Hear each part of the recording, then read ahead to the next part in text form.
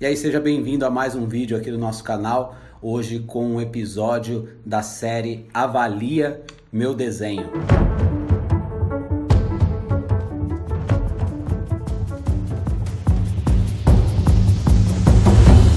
Bom, essa é uma série que a gente está criando, está começando agora, para fazer avaliações dos desenhos dos inscritos aqui do nosso canal. E como que você pode ter o seu desenho avaliado? Basta você fazer um post no Instagram e no post você marcar hashtag avalia meu desenho. Aí ela vai aparecer para mim, né, na hashtag que eu sigo e eu vou ver o seu desenho e dentre tantos que a galera tem postando lá, vem postando lá, eu tô escolhendo alguns e a cada episódio eu vou avaliar três, quatro desenhos falando de quem são, onde tá bom, onde tá ruim, onde pode melhorar, enfim. Hoje é o primeiro episódio, então a gente é, tá experimentando essa novidade que também é novidade para mim. Eu vou fazer através do tablet, né? Eu vou colocar o desenho aqui no tablet, vou mostrar a imagem bem de perto,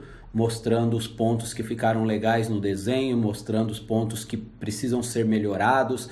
Enfim, se você quiser ter o seu desenho avaliado aí por mim, basta postar no Instagram, hashtag avalia meu desenho.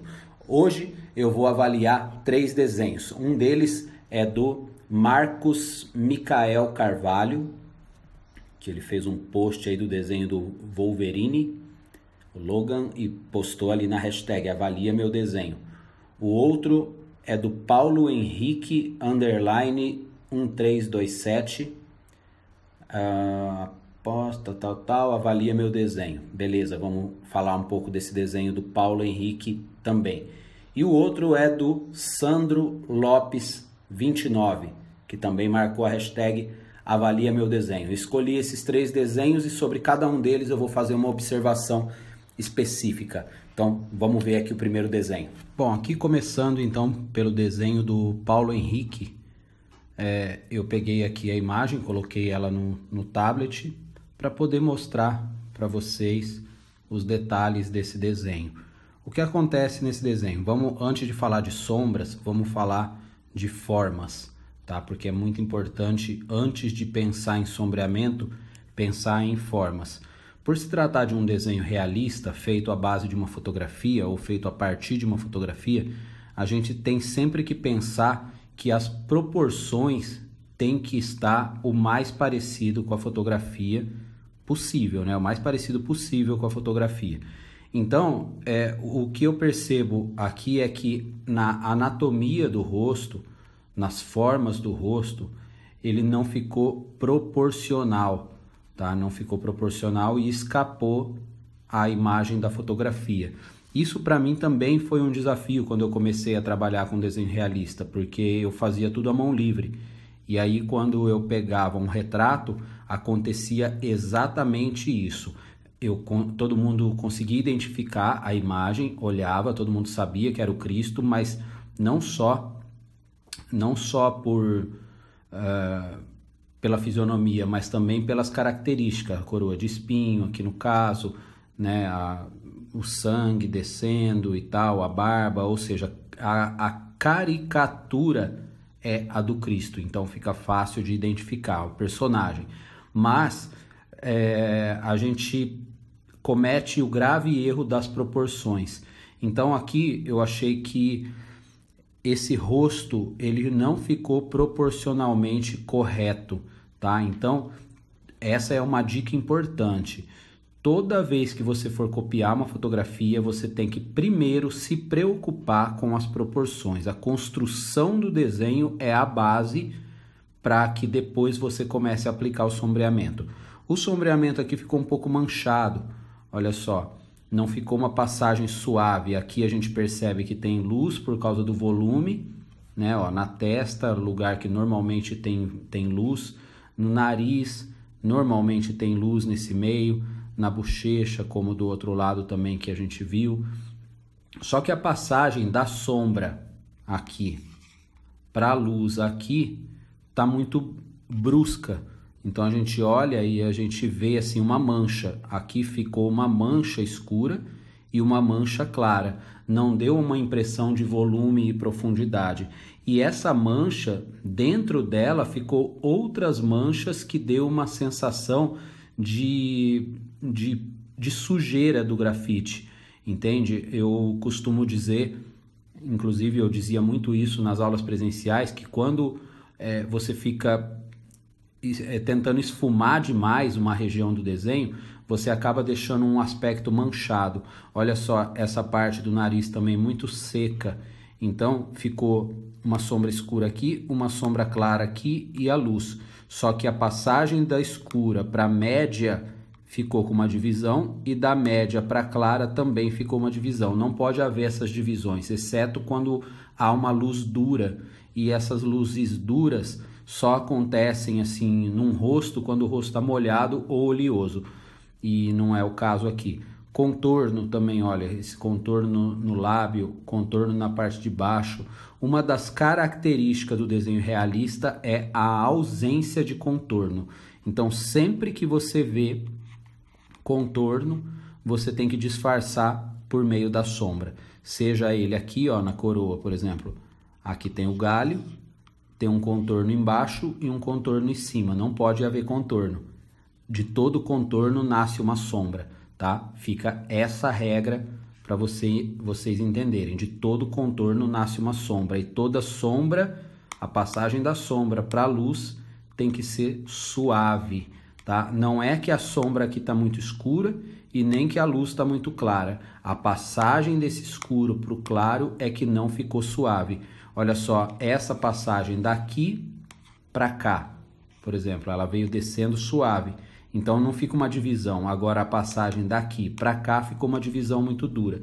E mesmo que você diga que no, na referência estava assim, com certeza não estava tão dura assim. A, aqui também, olha, a sombra e aqui ficou uma mancha.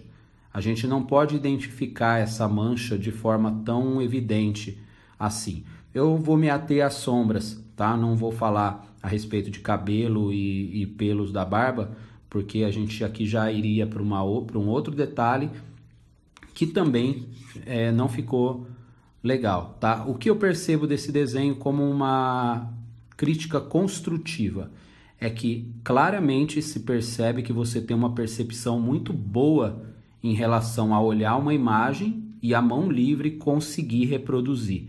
Esse tipo de desenho que você fez aqui, o Paulo Henrique, é exatamente o mesmo estilo de desenho que eu fazia alguns anos atrás. O que, que eu precisei fazer? Pegar esse talento que eu tinha e que você tem e lapidar ele através de técnicas, através de prática, conhecimento de materiais, e adaptando isso você vai lapidando a sua técnica e o seu desenho para chegar num realismo bem bacana. Agora vamos ver o Logan aqui do Marcos Micael. Esse Logan, o que acontece, Marcos? Pelos traços que você fez aqui, pelos traços com o boleador que foi usado na barba, aqui no cabelo, que dá para ver bem, ó. Deixa eu puxar aqui, ó. Que dá para ver bem. Pela forma de traçado, ó, da sobrancelha, só manchada, sem pelos. Por tudo que eu vejo aqui, dá para perceber que você tá ainda no começo da, do seu caminho aí no aprendizado do desenho realista. Não tem problema algum nisso. Todo mundo tem que começar uma hora, eu não sei há quanto tempo você desenha, mas não é, não é sobre isso que eu quero falar. O que eu quero dizer é que eu fiz esse mesmo desenho. E esse desenho é muito complexo. É uma imagem muito complexa, tem várias texturas nessa região, tem várias passagens de tons. Essa barba é super complicada de fazer, tem muitos detalhes. E, e pela, pelo nível do traço e de sombra que você jogou aqui, dá para perceber que você ainda está começando nessa área do desenho realista. E se você realmente, se eu tiver certo de dizer que você está começando, você pegar uma imagem complexa como essa, a tendência a você demorar mais para desenvolver uma técnica bacana é maior Tá? Ao invés de você aprender com uma imagem dessa, você vai é, dificultar o seu aprendizado porque é uma imagem muito cheia de detalhes e desafiadora demais. Então, procure pegar imagens mais simples, imagens que é, não tenha tanta textura, não tenha tanto contrastes duros, não tenha pelos. Pelos é uma parte muito complexa de um desenho realista, que com certeza, se você tiver dificuldade de fazer a sombra da testa, o que dirá quando você chegar nessa parte de pelos? Tá? Então, isso aqui baseia-se no fato de que a gente, tanto eu como você ou como qualquer um que estiver assistindo esse vídeo, a gente tem que entender as nossas limitações diante do estágio em que a gente está. Eu posso estar tá no estágio 1, 2, 3. Se eu estou no 1, eu tenho que pegar imagens que faça com que o meu estágio 1 de aprendizado seja bem absorvido e me dê base para que eu vá para o estágio 2.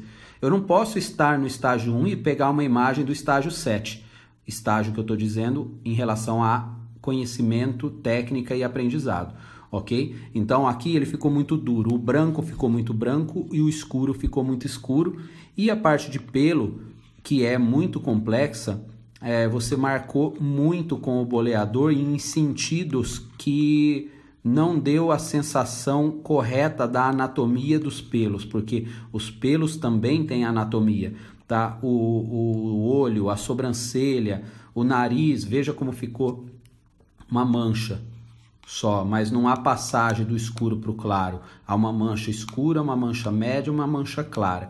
É óbvio que você tem talento para ter feito isso, não é qualquer um que faz ok? Não é simplesmente pegar e fazer. Não, dá para perceber que você tem um baita talento, uma percepção muito boa, só que lhe falta técnica e falta escolher a imagem correta para que você consiga um resultado bacana, ok? Vamos para do Sandro Lopes. Ó, do Sandro Lopes aconteceu uma coisa aqui que acontece com a grande maioria. Eu estava olhando as imagens lá que foram postadas com a hashtag Avalia Meu Desenho e muitas delas acontecem exatamente o que aconteceu aqui no desenho dele. O que? Contraste. É um desenho suave, ele conseguiu fazer essa suavidade no desenho, ficou bem legal essa parte. É, dá para detectar onde é a parte escura, onde é a parte clara, onde é a outra parte escura. Aqui ficou uma linha aqui um pouco marcada demais, que não pode existir essa linha, ela tem que ser disfarçada com um pouquinho de sombra, mas beleza. Sobrancelha dá para ver os pelos, dá para melhorar um pouquinho esses pelos, viu, Sandro? Dá para você fazer um pouquinho mais caprichado os pelos aí. É, no, no bigode aqui também dá para fazer um pouco melhor essa, essa região. O que, por que, que eu estou dizendo que dá para fazer melhor? Porque dá para perceber que você tem uma capacidade legal de controle da mão e suavidade. Só que você precisa caprichar mais nos detalhes, porque são esses detalhes que vão fazer a diferença no seu desenho. E outra coisa que eu disse, que eu comecei dizendo, né, que acomete o desenho de muita gente, é o contraste. Contraste, não há contraste. Tá vendo? Ó, não, não dá para ver a passagem do maxilar para o pescoço. Ficou uma coisa só. Por que, que ficou uma coisa só? Porque a sombra que está aqui, que dá para ver que está, está muito clara. Essa sombra da testa está muito clara em relação a esse brilho. Ou seja, precisa acentuar um pouco mais as sombras para evidenciar um pouco mais a luz e assim dar mais contraste, mais volume e mais profundidade. Ó, a orelha, por exemplo. A orelha é uma região que tem muitas curvas e, consequentemente, muita sensação de profundidade e de volume. Com isso, você precisa trabalhar muita sombra e muita luz. A luz tem que ficar evidente e, para isso, a sombra tem que ser mais forte. Então, você precisa trabalhar mais essa questão do contraste, tá? E o violão aqui, ó, na hora que você fez, você deixou muito manchado o lápis indo e vindo, indo e vindo. E aí quando ele vem para baixo, que ele volta para cima, ele dá aquele pico e volta, vai ficando essa mancha aqui, ó. Fica essa mancha, fica essa outra mancha aqui, essa outra aqui, aqui de fora a fora, tá? Então você tem que disfarçar isso com o próprio traço do lápis para ficar uma passagem mais homogênea. E o rosto ele ficou tão claro de contraste que a imagem acabou ganhando mais destaque para o violão e menos para o rosto. O rosto acabou ficando opaco, ficou em segundo plano. Então, trabalha melhor esse contraste.